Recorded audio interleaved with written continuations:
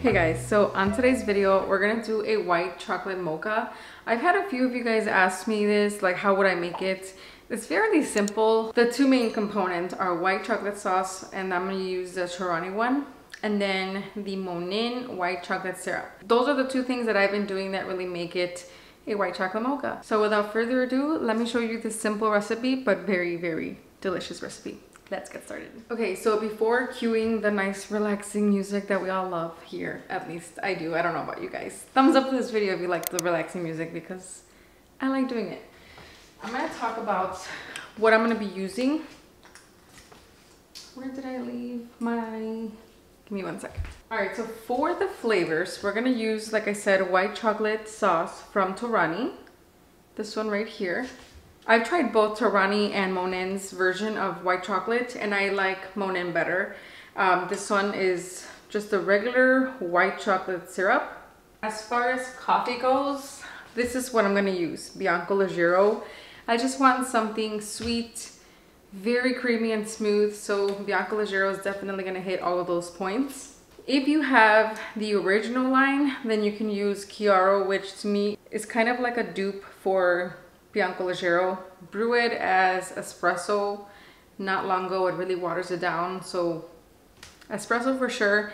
And if your machine is programmed to do ristrettos, then even better. I would probably do two of those and then add them. But if you're not interested in ristretto, espresso, two of these will give you the kind of equivalent to a Bianco Leggero drink. If you want something stronger, because I've heard some people say that Bianco Leggero is weak as heck.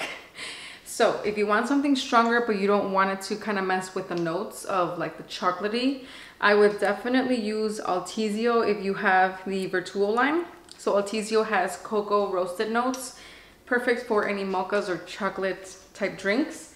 If you have the original line, you would just use this one. This is Firenze Arpeggio and it has, I had this one's decaf, but it comes in a regular one as well. Just do two shots of this for your drink and I think you would be good to go. But today we're gonna use Bianco Leggero. We're gonna do one tablespoon of the syrup and then we're gonna do a half a cup of the milk. The milk that we're using is the oat, the silk oat milk. This is the zero sugar, but if you guys don't mind sugar, I'm just trying to cut down a little bit. You know, I don't mind it here and there, but I love sugar and that's why I'm just trying to cut it down where I can. I'm doing this one, but you have the Silk Extra Creamy Oat Milk. Oh my God, that one is like super, super, super creamy.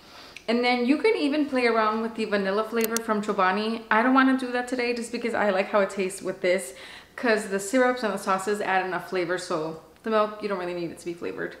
Let's just do this. We're going to do a half a cup, one tablespoon of the syrup, and then you're going to drizzle the amount of your choosing for the sauce. I'm not gonna give a measurement because I usually do kind of give or take depending on the day. So you'll see how much I drizzle, but that is pretty much gonna be the recipe. So let's get all of that together and put it into a yummy white chocolate mocha ice drink.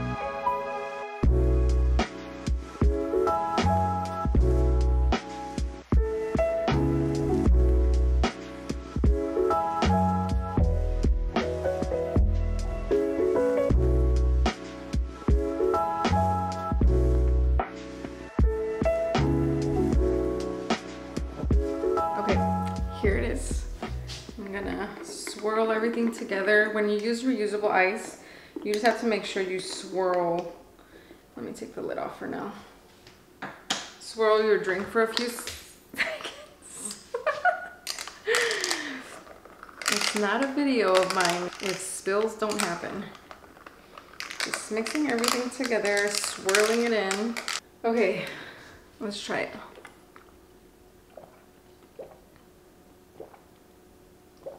Mmm. I had to stop myself. This is pretty good.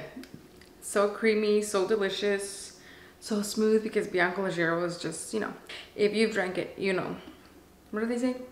If you know, you know. It's pretty good. So good. So hopefully you guys get to try this recipe. Like I said, it's super simple and it's fairly similar to what Starbucks does. I actually don't know if they do a white chocolate syrup or if all they use is a white sauce. But I would say I used a solid one tablespoon for the syrup, I mean for the sauce, and then one tablespoon for the for the syrup. So hopefully you guys get to try this recipe. If you guys do try it, tag me on Instagram, Alex made me brew it so that I could see your guys' drink and then let me know what your thoughts if you like it or not. Thumbs up this video if you're gonna try this recipe. And yeah, that is it for today's video. I'll see you guys in my next one. Bye.